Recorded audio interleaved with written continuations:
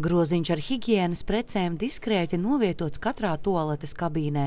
To izmantošana ir apmeklētāju ziņā. Neviens neko nekontrolē. Mēs esam ļoti priecīgi, jo īpaši pusauģu vecumā tās mēnešreizītes ir neregulāras, un tās meitenes nezina, kad viņas atnāks. Tādēļ svarīgi tīpaši slimnīcās, kur tas ir sabiedriska vieta, ka viņas redzamas, ka tās higiēnas preces ir. Un, tāda, jā, tad, mēs esam ļoti par to priecīgi. Un otra lieta, un, protams, tas arī veicina iespēju parunāt par to, pastāstīt mammai, kas tev tieši vajadzīgs, cik daudz vajadzīgs, un lai tas ir mazāks tabū, jo tas ir absolūti nepieciešamība.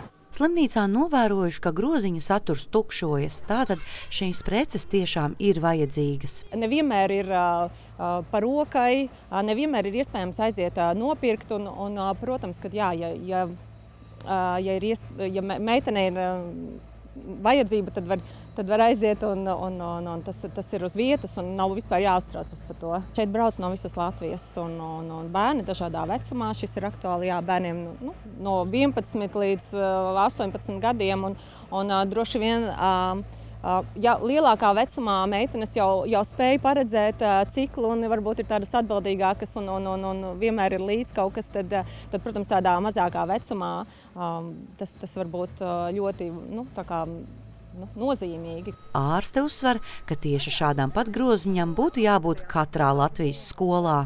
Ja viņām ir pieejamas tās higiēnas preces, tad viņas netiek tajās dienās izslēgts no skolas, no sporta, kad, kad viņām neapstājas ikdienas dzīve. Bet nu, katra meitene ir individuāla. Un, un, un, protams, katrai tas sākums ir negaidīts un tas uztraukums. Un, ja, protams, ir pieejams tās higiēnas preces, tas tik daudz ko palīdz un to stresu noņem. Bērnu slimnīcā ik gadu tiek stacionētas apmēram 3000 meitenes vecumā no 11 līdz 18 gadiem, bet poliklīnika apmeklē vēl daudz vairāk.